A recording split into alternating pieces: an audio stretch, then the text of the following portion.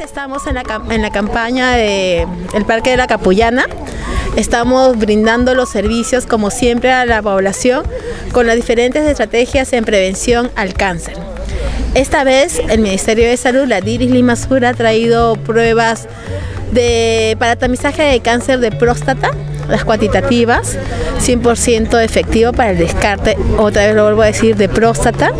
También tamizaje de VIH, cáncer de mama, cáncer de cuello de útero.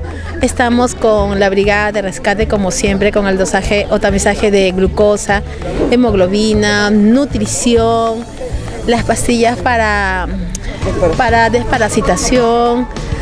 Bueno, diferentes tipos de programas que trae como siempre la municipalidad con la DIRIS Lima Sur, el Colegio Químico Farmacéutico, Colegio Regional de Obstetras, en fin, se suman todos en, en estas campañas en prevención y promoción de la salud.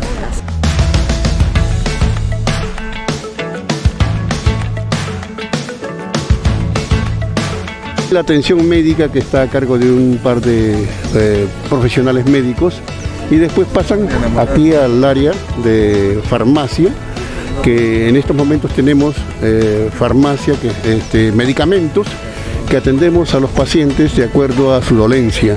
También estamos entregando el kit que el Colegio Químico Farmacéutico los ha preparado.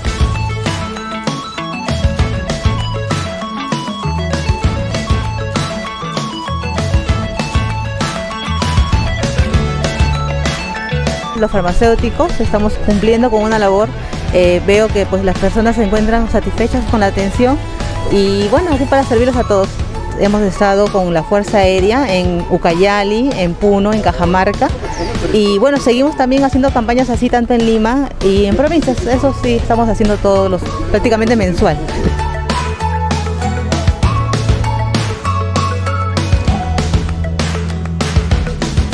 El día 16 de este mes salimos para Puno en, una, en un servicio a la comunidad, pero las partes más alejadas de nuestro país donde realmente la gente muchas veces está privada de todo.